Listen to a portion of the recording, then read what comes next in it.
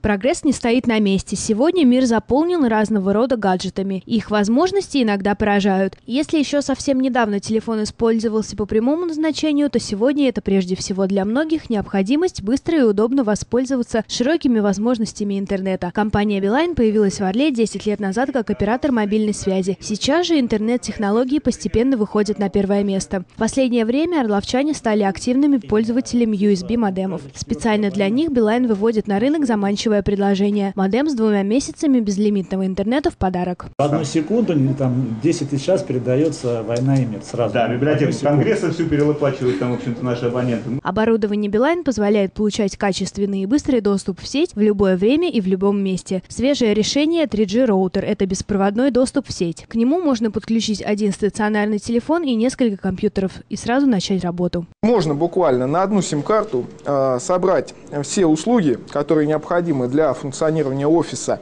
Это услуги безлимитного интернета, услуги проводной связи а, и наладить функционирование. Самое удобное, почему называется офис за 5 минут, можно в любое время взять его под мышку и переехать там в какое-то другое место. В перспективах Билайн постройка современного центра обработки данных, который позволит запустить сеть 4G в Орле и области. Анна Немолякина и Андрей Борискин для программы «Оперативный эфир».